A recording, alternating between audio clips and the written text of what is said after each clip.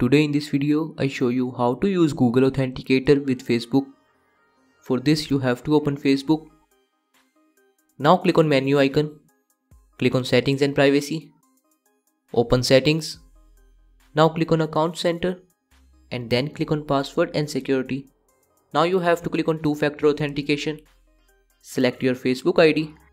Now you have three options here. You have to select authentication app and click on next. Now you have to click on copy key and then press on home icon. Open Google Authenticator app.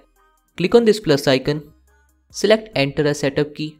Click on your key and paste the key you copied here. Click on account name and type the name you want and then click on add.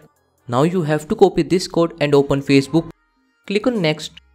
Now enter or paste the code here like this and click on next. Now you have to type your Facebook password.